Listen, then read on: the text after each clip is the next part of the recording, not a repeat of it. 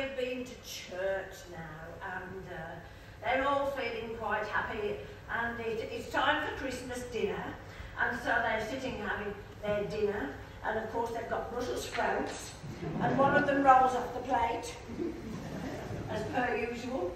And the Christmas pudding but they're taking all the fun out of Christmas pudding now because you can't put sixpences in in case you swallow it. But anyway Grandma decided she was going to put some sixpences in, well, five pences into the Christmas pudding. So they're all absolutely stuffed now, stuffed to the chin. And they're sitting down, and Grandma says, we'll watch the Queen at three o'clock. And Grandad says, yes, all right, but put it on now and we'll see what's going on. Well, they put the television on, and it was Judith Chalmers. And she was with Gloria Hunniford. And they were doing the holiday programme.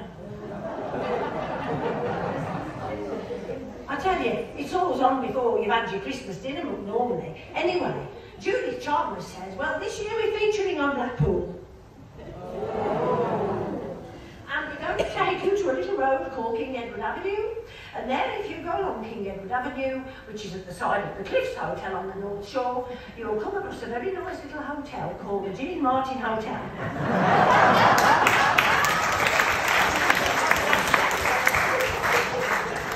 Most welcome because there's organs everywhere.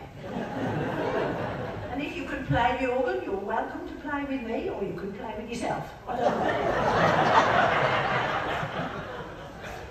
what do you play with really, but anyway, yes. So that's that.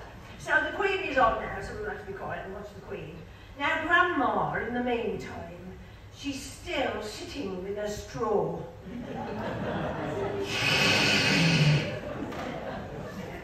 And Grandad said, the bottle is nearly empty, Ethel.